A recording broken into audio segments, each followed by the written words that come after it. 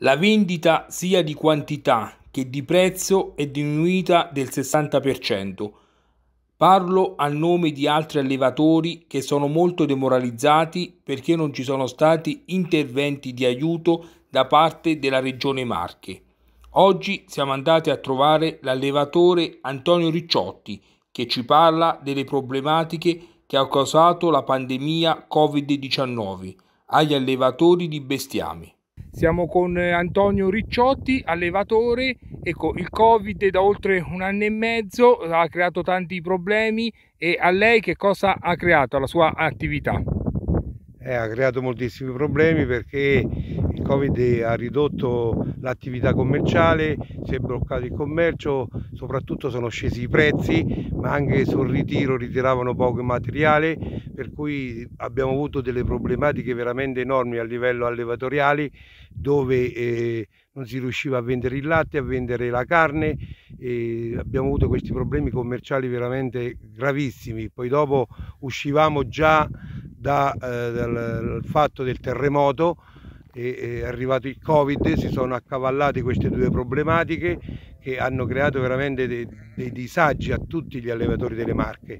E per, per, proprio per finire col ciliegino sulla torta è stata la siccità che da oltre un anno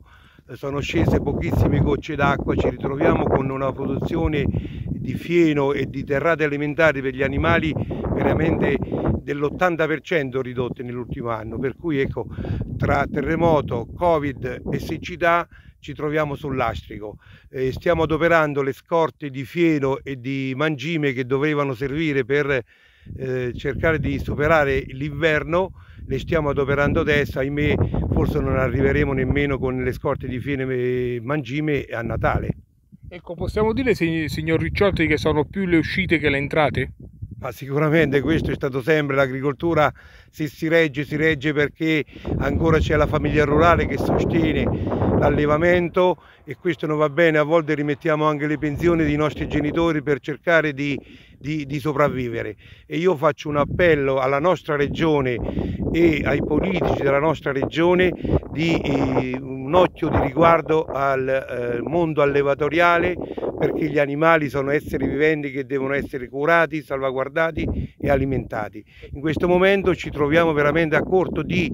risorse finanziarie e alimentari. Ecco, ultima domanda, possiamo dire ai nostri politici che ci stanno guardando in questo momento di venire proprio loro